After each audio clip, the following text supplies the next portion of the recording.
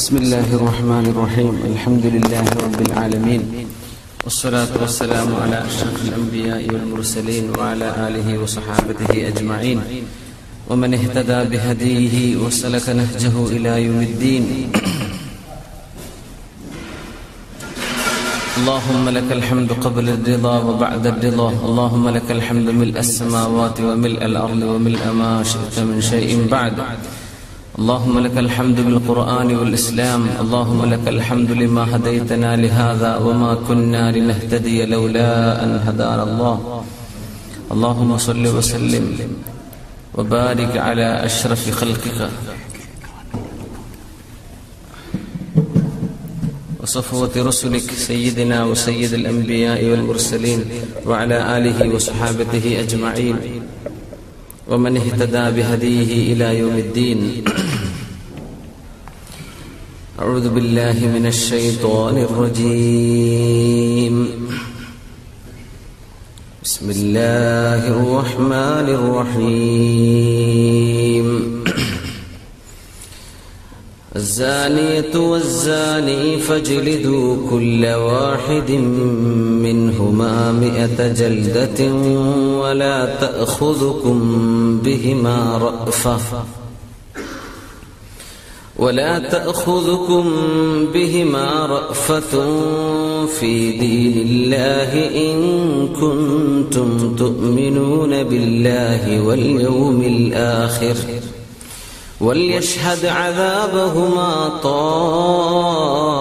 طائفة من المؤمنين صدق الله العلي العظيم بارك الله لي ولكم بالقرآن العظيم ونفعني وإياكم بما فيه من الآيات والذكر الحكيم وعصمني وإياكم برحمته من الشيطان الرجيم ബഹുമാന്യരായ മുഅ്മിനീങ്ങളെ മുഅ്മിനാത്തുകളെ പരിശുദ്ധമായ സൂറത്തുന്നൂറിലെ രണ്ടാമത്തെ ഈ ആയത്തിനെ സംബന്ധിച്ചുള്ള നമ്മുടെ മൂന്നാമത്തെ ക്ലാസ്സാണിന്ന്.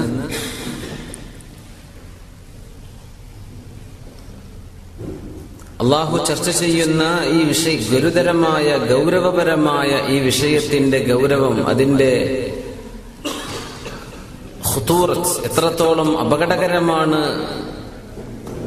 അള്ളാഹു മുന്നറിയിപ്പ് നൽകുന്ന ഈ പാപം എന്ന് അടിസ്ഥാനപരമായി ഷറഇന്റെ നിയമങ്ങൾ വളരെ വ്യക്തമായി മനസ്സിലാക്കിയതിന്റെ ശേഷമാണ് അടുത്ത ആയത്തുകളുടെ വിവരണത്തിലേക്ക് നമുക്ക് കടക്കാൻ കഴിയൂ. ഇനി ചർച്ച ചെയ്യപ്പെടാൻ പോകുന്ന വിഷയങ്ങളും ഇതുമായി ബന്ധപ്പെട്ടുകൊണ്ടാണ്.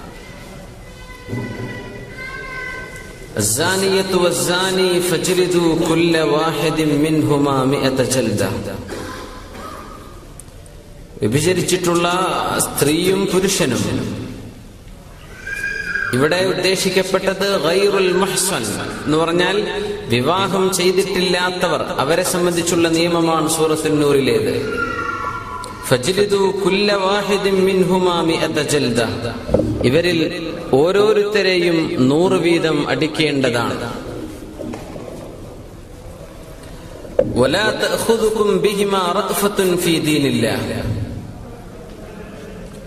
ഇവർ രണ്ടുപേരോടും അള്ളാഹുവിന്റെ ഈ നിയമം നടപ്പാക്കുന്ന വിഷയത്തിൽ ലവലേശം നിങ്ങൾക്ക് ദയാവായ്പ് തോന്നേണ്ടതില്ല. ഇൻ കുൻതും തുഅ്മിനൂന ബില്ലാഹി വൽ യൗമിൽ അള്ളാഹുവിലും അന്ത്യനാളിലും നിങ്ങൾ വിശ്വസിക്കുന്നുവെങ്കിൽ നിങ്ങൾ ലവലേശം ഇവിടെ കാരുണ്യം തോന്നരുത്. ദീൻ റഹ്മ ദീൻ കാരുണ്യമാണ് അള്ളാഹു കരുണാമയനാണ്. അഷറഫുൽ സല്ലല്ലാഹു അലൈഹി വസല്ലമ തങ്ങൾ ജനങ്ങളോട് ഏറ്റവും കൂടുതൽ റഹ്മത്ത് ചെയ്യുന്ന ആൾ അള്ളാഹുവിന്റെ റസൂലാണ് മനുഷ്യരിൽ. അങ്ങനെയൊക്കെ ആണെങ്കിൽ പോലും അള്ളാഹുവിന്റെ നിയമത്തെ മറികടന്ന ഒരാൾക്ക് നൽകപ്പെടുന്ന ശിക്ഷ. അത് ഗുരുതരമായ ശിക്ഷയാണ് ഇവിടെ അതിന്റെ പേരിൽ അല്പമെങ്കിലും അത്രയ്ക്ക് വേണോ എന്ന് തോന്നിപ്പോകാം.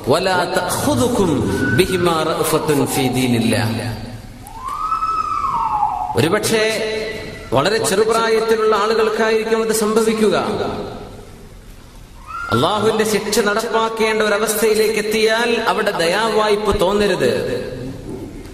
മരണി മരിക്കുന്നത് വരെ എറിയുക എന്ന് പറയുന്നത് അങ്ങനെ ഒരു ശിക്ഷ അള്ളാഹുവിന്റെ ഷറയിൽ വ്യഭിചാരത്തിന് മാത്രമേ അള്ളാഹു നിശ്ചയിച്ചിട്ടുള്ളൂ. ഉണ്ട് അല്ലേ? ഒരാളെ വധിച്ചാൽ അതിന് പകരം വധിക്കപ്പെടും. ഖിസാസ് പ്രകാരം വധിക്കപ്പെടും. അതുപോലും എറിഞ്ഞു കൊല്ലുകയല്ല. വാൾ വാളുകൊണ്ട് പെട്ടെന്ന് ജീവൻ പോകുന്ന രീതിയിലുള്ള വധശിക്ഷ നൽകപ്പെടും. പക്ഷേ വ്യഭിചാരത്തിന് മാത്രമാണ് അള്ളാഹു എറിഞ്ഞു കൊല്ലുക എന്ന് പറഞ്ഞ നിയമം വെച്ചിട്ടുള്ളത്. ഇത് അള്ളാഹുവിന്റെ ഹെക്കുമാൻ ഇത് അള്ളാഹുവിന്റെ ഷറാൻ അത് നടപ്പാക്കേണ്ടി വരുമ്പോ ഒരുപക്ഷേ അത് നടപ്പാക്കാൻ സാധിക്കാതെ മനസ്സറച്ചു പോകുന്ന രംഗം വന്നേക്കാം. അതിനാണ് അള്ളാഹു ആദ്യമേ പറയുന്നത്.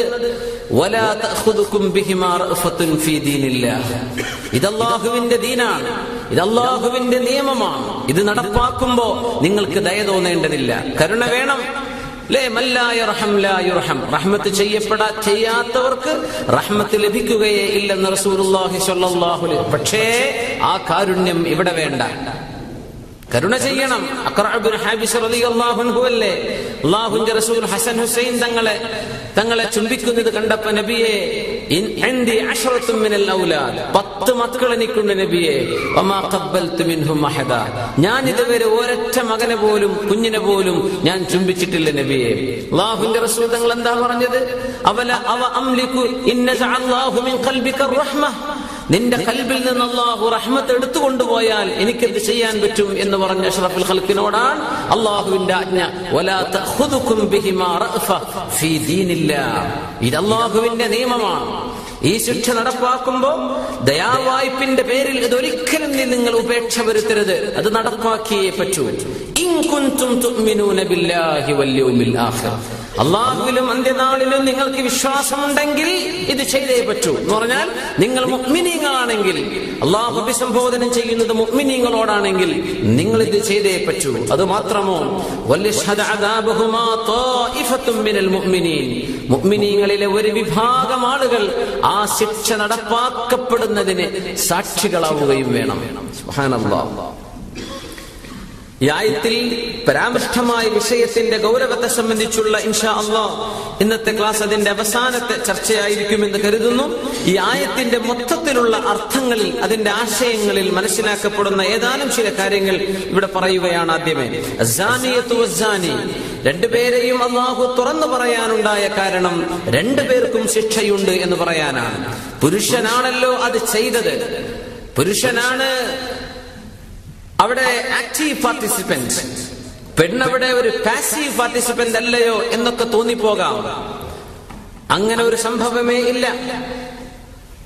ഒരു നിർബന്ധ നിർബന്ധിക്കപ്പെട്ട ഒരവസ്ഥയിൽ ബലാത്കാരമായി ഒരു ഒരു സ്ത്രീ അതിന് വിധേയയാവുകയാണെങ്കിൽ അതല്ല ഇവിടെ പറയുന്നത്. അവിടെ അവൾക്ക് ശിക്ഷയില്ല. ഈശ്വരയിൽ തന്നെ തന്നെ വരും ഇനി വരാൻ പോകുന്ന ഒരു ആയത്ത് ബിസ്മില്ലാഹിർ റഹ്മാനിർ റഹീം വലാ തുക്രിഹു ഫതയാതികും അലൽ ബിഗാഇ ഇൻ അറദുന തഹസ്സുന وإن الله من بعد إكراههن لغفور رحيم ഇക്രാഹ് ചെയ്യപ്പെടുന്നവർ നിർബന്ധിക്കപ്പെടുന്നവർ ബലാത്കാരമായി അതിന് വിധേയരാകേണ്ടി വരുന്നവർ ഫഇന്നല്ലാഹു ഗഫൂറുർ റഹീം അല്ലാഹു അവർക്ക് പുറത്തു കൊടുക്കും അതിനെ സംബന്ധിച്ചല്ല ഇവിടെ ചർച്ച.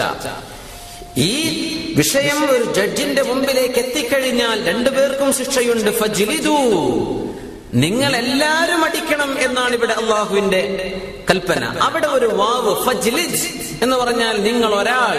അത് അഷറഫ് ഹൽക്ക് തങ്ങളോടായിരുന്നേനെ. അങ്ങനെയാണെങ്കിൽ. അല്ലെങ്കിൽ അത് അവിടുത്തെ ഒരു ജഡ്ജിയോടായിരുന്നേനെ. പക്ഷേ അള്ളാഹുത്താല എന്ന പ്ലൂരലാണ് പ്രയോഗിച്ചിട്ടുള്ളത്. നിങ്ങൾ എല്ലാവരും എന്ന പ്രയോഗം അവിടെ വന്നു. ഫജിലിദു. ആരോടാണ്? ആരോടാണ് അള്ളാഹുവിന്റെ ആജ്ഞ?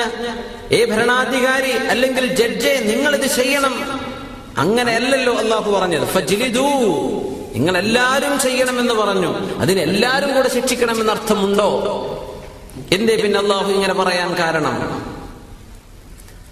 അങ്ങനെ ഒരു പാപം ഒരു കുറ്റം ജിനപോലോത്ത ഗുരുതരമായ ഒരു ശിക്ഷ ഒരു ഒരു പാപം സംഭവിച്ചു കഴിഞ്ഞു. അത് കോടതിക്ക് മുമ്പിലേക്ക് എത്തിയാൽ അതിന്റെ ശിക്ഷയാണ് നമ്മൾ ഈ വിവരിക്കുന്നത്. അങ്ങനെ വന്നാൽ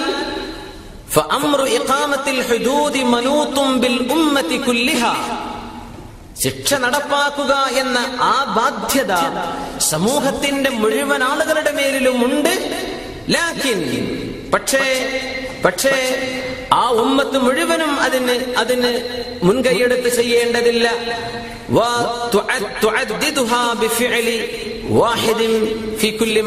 അവിടെ ഏതെങ്കിലും ഒരാൾ ഈ മുഴുവൻ ആളുകൾക്കും പകരക്കാരനായ ഒരാൾ അത് അവിടുത്തെ ഭരണാധികാരിയാകാം? അവിടുത്തെ ജഡ്ജാകാം? ഖാദിയാകാം? അത് ചെയ്യേണ്ടത്. ജനങ്ങളല്ല നിയമം കയ്യിലെടുക്കേണ്ടത്. അത് ശരീരത്തിന്റെ വളരെ അടിസ്ഥാനപരമായ നിയമമാണ്. റസൂലുള്ളാഹി സ്വല്ലല്ലാഹു അലൈഹി വസല്ലം തങ്ങൾ പറഞ്ഞിട്ടുണ്ട് ഒരു മനുഷ്യൻ മറ്റൊരാളെ വധിച്ചു എന്ന് വിചാരിക്കുക.